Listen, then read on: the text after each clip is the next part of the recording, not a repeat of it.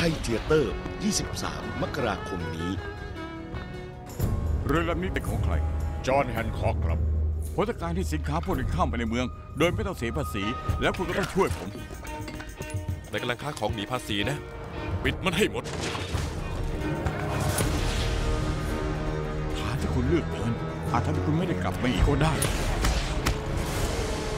มินิซีรีส์ที่จะพาคุณย้อนกลับไปพบเหล่าผู้กล้า ในยุคปฏิวัติอเมริกา เพื่อดินแดนแห่งเสรีภาพ อย่าพลาดในไทยเทียเตอร์ ทุกคืนวันเสาร์เวลา 22นาฬิกา5นาทีทางไทย PBS ดิจิตอล HD และดาวเทียมที่ช่องหมายเลข 3